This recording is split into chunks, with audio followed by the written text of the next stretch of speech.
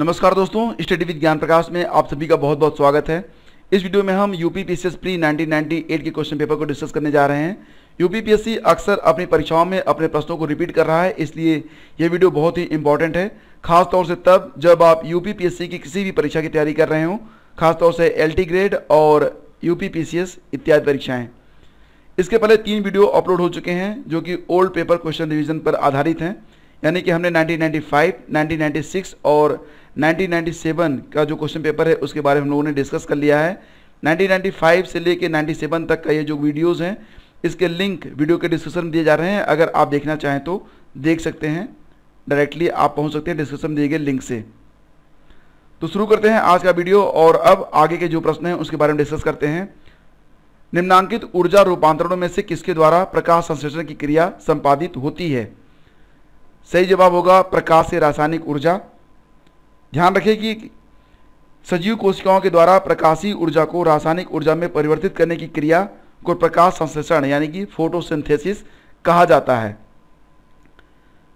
प्रकाश संश्लेषण वह क्रिया है जिसमें पौधे अपने हरे रंगों वाले जो पत्तियाँ होती हैं और जो भी अंग हरे होते हैं, उनके द्वारा सूर्य के प्रकाश की उपस्थिति में वायु से कार्बन डाइऑक्साइड और पृथ्वी के भूमिगत जो जल होता है, उसको ग्रहण करते हैं और फिर अपने लिए एक कार्बोहाइड्रेट जो कि पहले सरल कार्बोहाइड्रेट में बदलता है और उसके बाद जटिल कार्बोहाइड्रेट में बदल जाता है, का निर्माण करते हैं अपने भोजन के लिए और इस प्रक्रिया में ऑक्सीजन जो होती है, वो मुक्त होती है, ठीक है?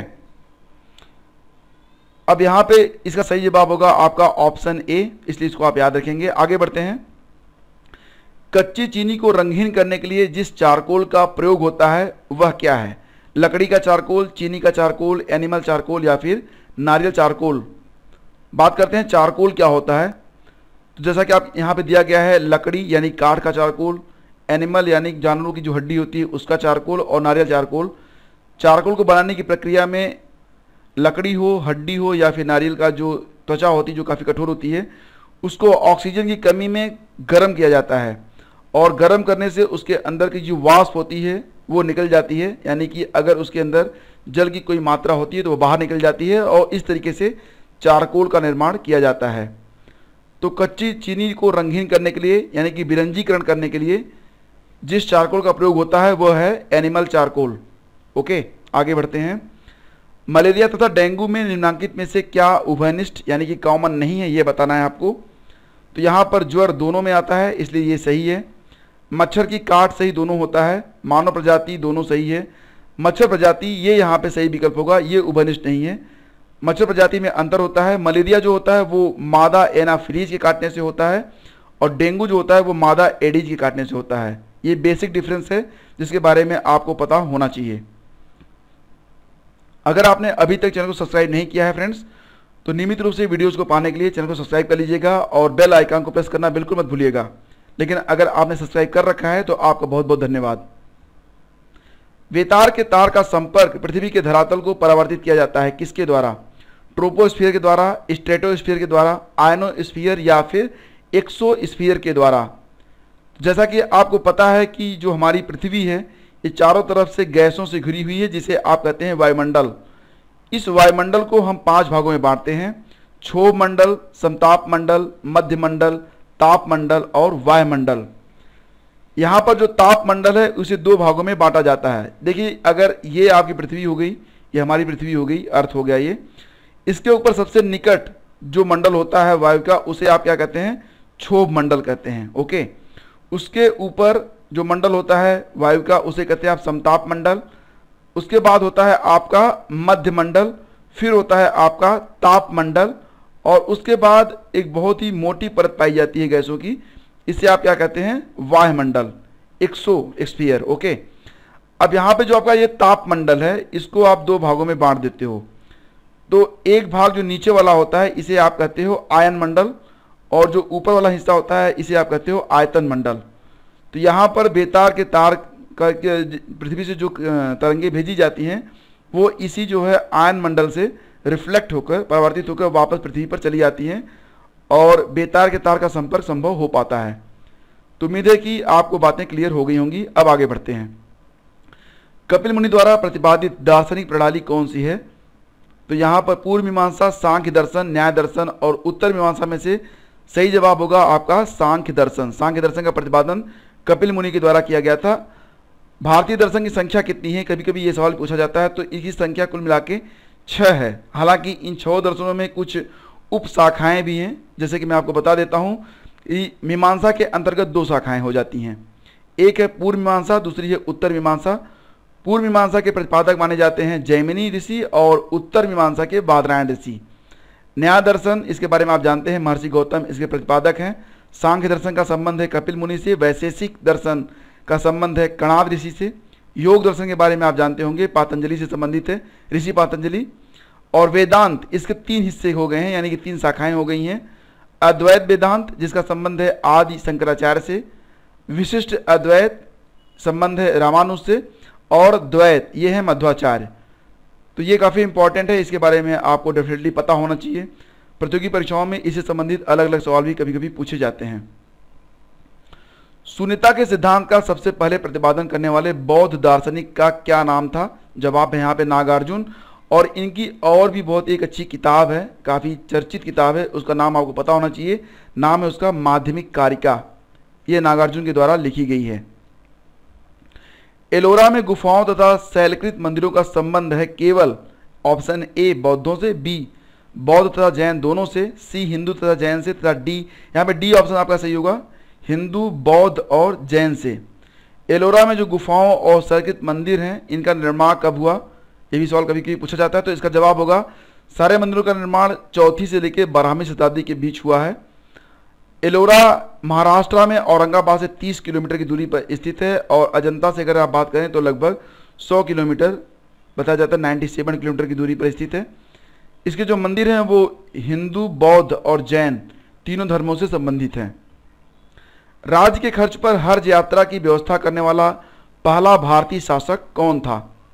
इसका जवाब होगा यहाँ पे फिरोज तुगलक। दिल्ली पर इसने शासन किया था तेरह से लेकर तेरह तक। फिरोज शाह तुगलक भारत का अंतिम मुस्लिम शासक था।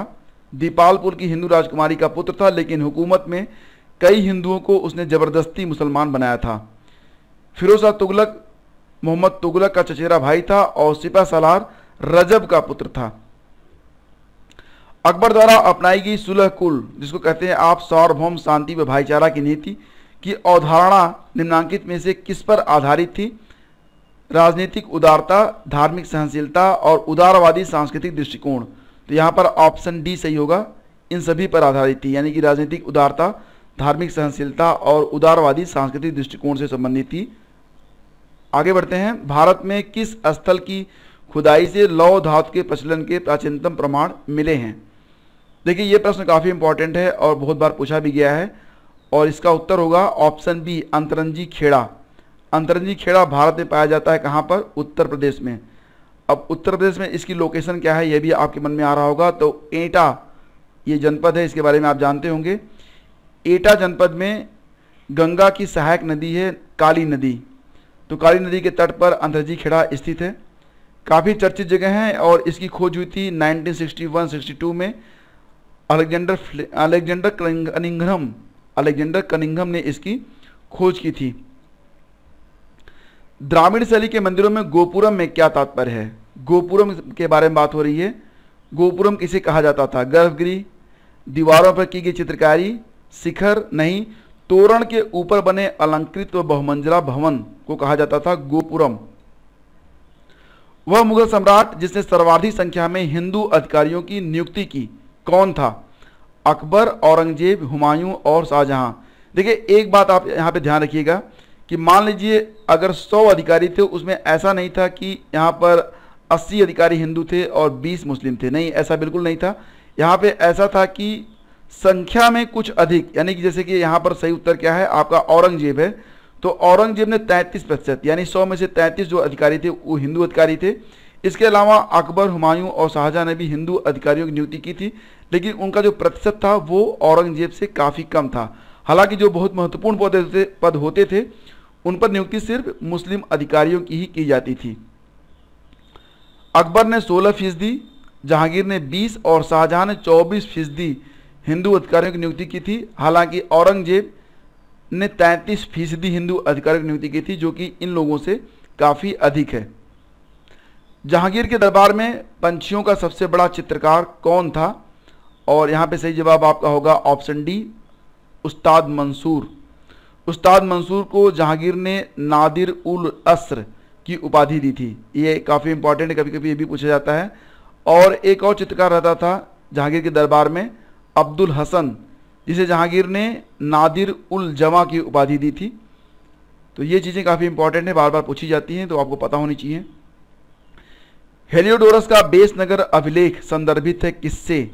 ऑप्शन सी यहाँ पे सही होगा, केवल वासुदेव से। जो यूनानी सम्राट थे, वो हिंदू धर्म से काफ़ी अधिक प्रभावित थे। यूनानी सम्राट मेनांडर ने नागसेन से बौद्ध धर्म की दीक्षा ली थी तथा एंटीपाल कीड्स के राजदूत हेलियोडोरस ने भागवत धर्म को स्वीकार किया था। हेलियोडोरस ने बेस नगर विदिशा में गरुण ध्वज की स्थापना भी की थी। निम्नलिखित में से कौन सी घटना महाराष्ट्र में घटित हुई थी? यह बताना है आपको। भील विद्रोह, कोल विद्रोह, रंपा विद्रोह या फिर संथाल विद्रोह। तो महाराष्ट्र में जो घटना घटित हुई थी, वो था भील विद्रोह। 1817 से लेके 1825 के बीच बम्बई प्रेसिडेंसी, जो कि अब महाराष्ट्र के अंतर्गत आता है, में भू राजस्व बंदोबस्त के समय यह विद्रोह हुआ था, जिसे भील विद्रोह के नाम से जाना जाता है। कोल विद्रोह का संबंध है छोटा नागपुर से, संथाल विद्रोह का संबंध है बिहार से, और रंपा विद्रोह का संबंध है आंध्र प्रदेश से। स्वराज पार्टी के गठन से कौन कौन संबंधित हैं? सुभाष चंद्र बोस सी आर दास जवाहरलाल नेहरू, मोतीलाल नेहरू तो यहाँ पर कौन कौन यानी कि दो लोगों का नाम बताना है। तो यहाँ पर ऑप्शन बी और ऑप्शन डी, ये दोनों यहाँ पे सही हैं। सी आर दास और मोतीलाल नेहरू। स्वराज पार्टी की स्थापना कब हुई थी? एक जनवरी 1923 को हुई थी। सी आर दास ने मोतीलाल नेहरू विठल भाई पटेल, मदन मोहन मालवीय और जयकर के साथ मिलकर इलाहाबाद में कांग्रेस से अलग होकर स्वराज पार्टी बनाई थी। सी आर दास यानी कि चित्रंजन दास स्वयं इसके अध्यक्ष बने थे और इसके सचिव बने थे मोतीलाल नेहरू। अब यहाँ पे देखिए एक शब्द छूट गया है, अलग।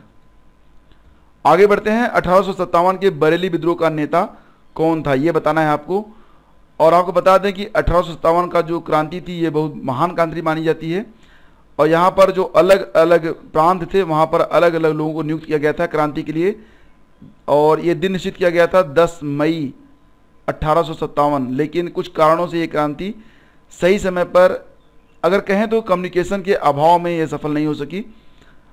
अब बात करते हैं खान बहादुर, कुंवर सिंह, मौलवी अहमद शाह और ब्रिजेश कादिर के बारे में। सबसे पहले बात करेंगे अठारह के बरेली विद्रोह का नेता कौन था। तो बरेली विद्रोह का नेता था खान बहादुर। कुंवर सिंह ने संभाला था आरा, बिहार में यह मोर्चा और मौलवी अहमद शाह अवध में लड़ाई लड़ रहे थे। विरजिस कादिर लखनऊ में मोर्चा संभाले थे और इसी के साथ झांसी में रानी लक्ष्मीबाई और कानपुर में नाना साहब, ये लोग अठारह सौ सत्तावन की क्रांति में मोर्चा संभाले थे कौन सुमेलित नहीं है? Lord Cornwallis Lord Wellesley Lord Dalhousie Lord Canning और इनकी नीतियाँ हैं। लार्ड कानवालिस अस्थाई बंदोबस्त, ये सही है। लार्ड वेलेजली, सहायक संधि, बिल्कुल सही है। लॉर्ड अलोजी व्यापगत सिद्धांत, ये भी सही है। लॉर्ड कैनिंग उच्चतम निष्क्रियता, ये गलत है। उच्चतम निष्क्रियता का जो सिद्धांत है, ये सर जॉन लॉरेंस से संबंधित है। किससे? Governor general sir John Lawrence से, यह नीति अफ़गानिस्तान से संबंधित थी। तो आपका सही ऑप्शन क्या हुआ? डी। मुंडा विद्रोह का नेता कौन था? आपको बता दें कि मुंडा विद्रोह के बारे में थोड़ा सा जान लेना आपके लिए ज़रूरी होगा। मुंडा जनजातियों ने 18वीं सदी से लेकर 20वीं सदी तक, कब से? 18वीं से लेकर 20वीं सदी तक। कई बार अंग्रेज़ी सरकार और भारतीय शासकों, जमींदारों के खिलाफ विद्रोह किए थे। बिरसा मुंडा के नेतृत्व में 19वीं सदी के आखिरी दशक में किया गया मुंडा विद्रोह 19वीं सदी में सर्वाधिक महत्वपूर्ण जनजाति आंदोलनों में से एक है। इसे उल गुलान, क्या? उल गुलान, ये थोड़ा नाम टेढ़ा सा है, लेकिन आप याद रखेंगे। उल गुलान नाम से भी जाना जाता है। मुंडा विद्रोह झारखंड का सबसे बड़ा और अंतिम रक्ताप्लावित जनजाति विप्लव था। यानी कि इसमें बहुत सारे लोग मारे गए थे। इसमें हज़ारों की संख्या में मुंडा आदिवासी शहीद हुए थे। मशहूर समाजशास्त्री और मानव विज्ञानी कुमार सुरेश सिंह ने बिरसा मुंडा के नेतृत्व में हुए इस आंदोलन पर बिरसा मुंडा और उनका आंदोलन ये किताब लिखी है। बिरसा मुंडा और उनका आंदोलन। ये किताब का नाम है लिखा है किसने? कुमार सुरेश सिंह ने। नील आंदोलन का जमकर समर्थन करने वाले हिंदू पैट्रियट के संपादक कौन थे? सही जवाब आपका होगा ऑप्शन बी, हरिश्चंद्र मुखर्जी। नील आंदोलन कब से कब तक चला? ये अठारह 1860 में हुआ था। शुरुआत कब हुई थी? सितंबर अठारह में, बंगाल के नादिया ज़िले के गोविंदपुर गाँव से। शुरुआत की थी दिगंबर विश्वास और विष्णु विश्वास नाम के दो किसानों ने। हिंदू पैट्री के संपादक हरीश चंद्र मुखर्जी ने इसका बहुत समर्थन किया था। अपने पत्र के माध्यम से इन्होंने किसानों से के शोषण, सरकारी पक्षपात, अधिकारियों की जो है नीतियाँ, जो गलत नीतियाँ थी, उस आदि के बारे में काफ़ी चीज़ें इन्होंने लिखी थी और काफ़ी मुखर रहे थे उसके बारे में। स्वराज मेरा जन्मसिद्ध अधिकार है और मैं इसे लेकर रहूँगा। यह कथन तिलक ने भारतीय राष्ट्रीय कांग्रेस के किस अधिवेशन में व्यक्त किया था?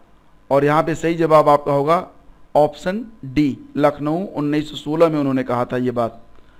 तिलक से पहले दादा भाई नौरोजी ने 1906 का अधिवेशन, जो कि कलकत्ता में हुआ था, उसमें वे स्वराज की मांग कर चुके थे। अन्य रजवाड़ों के भारत में विलय के बाद भी किन तीन राज्यों ने भारत में शामिल होने से विलंब किया था? चार राज्यों का यहाँ पे सेट दिया गया है। आपको बताना है कि सही सेट कौन सा है। यहाँ पर ऑप्शन बी सही माना जाएगा। जूनागढ़, हैदराबाद, जम्मू और कश्मीर। तो आइए थोड़ा सा इसके बारे में जान लेते हैं कि इनका विलय भारत में कब हुआ। कश्मीर का विलय कब हुआ?